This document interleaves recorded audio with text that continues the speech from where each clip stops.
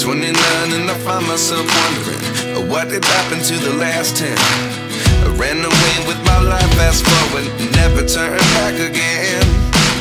It's kinda funny that the more we pass time, the more we need to set the rewind.